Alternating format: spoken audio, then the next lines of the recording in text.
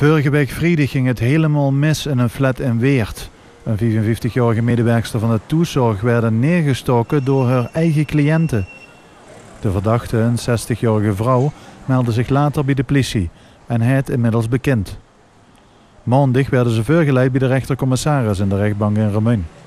De verdachte is uh, vanmiddag voorgeleid bij de rechtercommissaris. En die heeft de vordering van de officier van justitie uh, toegestaan om haar nog langer in voorarrest te houden. Ze blijft dus voorlopig vast?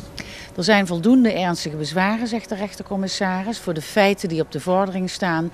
En dat is primair moord en subsidiair doodslag.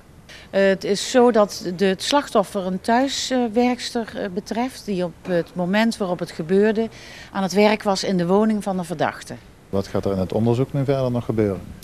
Ja, het onderzoek loopt nog. De verdachte zal nog worden gehoord. Ook zullen er nog andere mensen worden gehoord.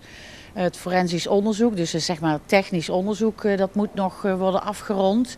Er is in, in, in, de, woning technisch onderzoek verricht en al die sporen die moeten in kaart worden gebracht. En verder zal er ook onderzoek worden gedaan naar de persoonlijkheidsproblematiek van deze verdachte.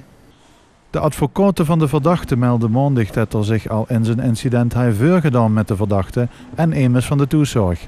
Ze noemde het dan ook onbegrijpelijk dat de verdachte niet eerder hulp had gekregen.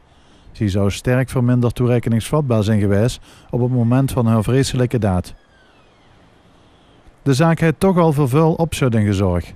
Veel mensen kunnen het niet begrijpen dat immers in de toezorg op deze manier slachtoffer kan worden op het werk. Een van de gronden voor de voorlopige hechtenis is de geschokte rechtsorde. En uh, dat, dat is met name omdat de samenleving natuurlijk buitengewoon geschokt is dat dit gebeurd is. En ook dat uh, iemand die aan het werk is bij een cliënt uh, zoiets kan overkomen, dat is natuurlijk dramatisch.